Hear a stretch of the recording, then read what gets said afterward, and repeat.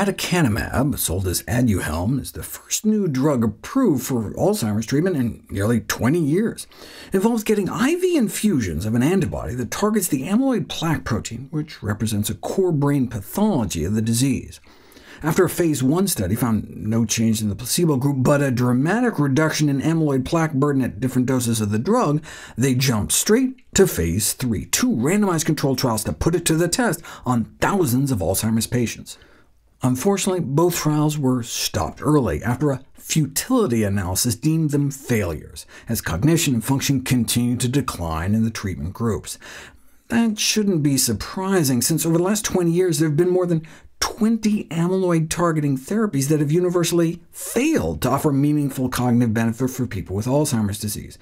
In fact, a 2022 investigation into a seminal paper implicating amyloid as a causal factor in Alzheimer's alleged shockingly blatant data fraud, which has further tarnished the reputation of the amyloid theory. So, no surprise, Aduhelm flopped. But what happened next was surprising indeed.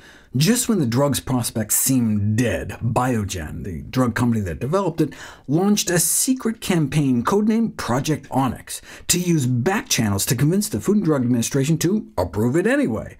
They went back through the data and found a subset of patients in one of the trials that had a 0.39 increase on an 18-point scale of cognitive function. This was well below the minimal standard for clinical significance, judged to be at least one or two full points.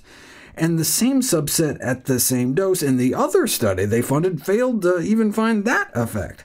This kind of post hoc, after-the-fact data dredging is like firing a shotgun in a barn and then painting a target around the bullet holes, as one FDA committee statistician put it.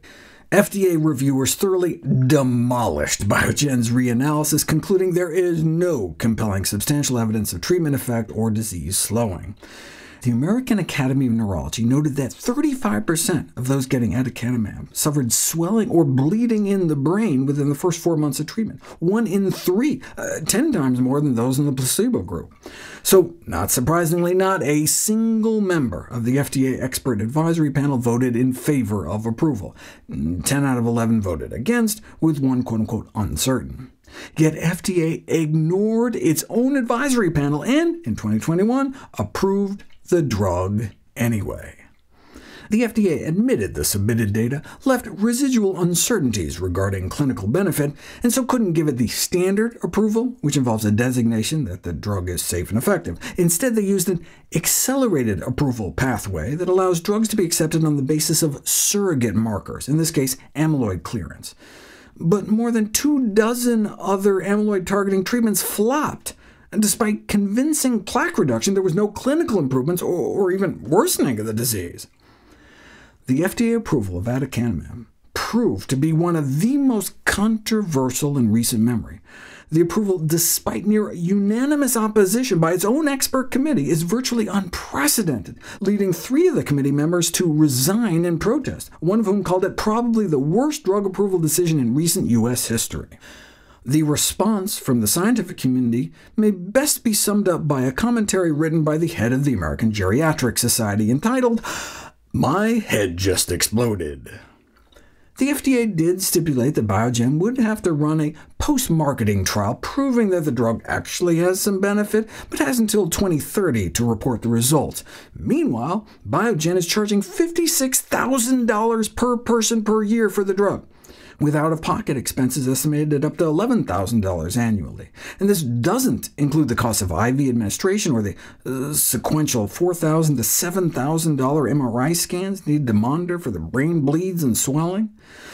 Yeah, the risks far exceed any likely benefits, but shouldn't patients and their families be able to make up their own minds? The problem is that the FDA stamp of approval implies aducanumab is safe and effective, when at the current time it appears to be neither.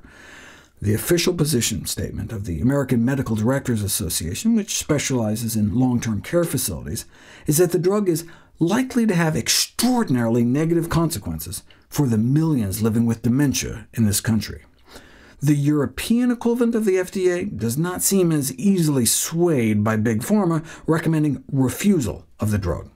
I mean, that's the whole point of drug regulation, as one of the former FDA committee members who resigned put it, a responsibility to help vulnerable patients and their families not just from sketchy drugs, but also from false hopes. A congressional investigation concluded FDA approval of aducanumab was rife with irregularities, raising serious concerns about FDA's lapses in protocol and Biogen's disregard of efficacy. Of course, that didn't stop the FDA from their 2023 accelerated approval of a similar antibody, lecanemab, sold as Leqembi, of similar questionable efficacy and safety.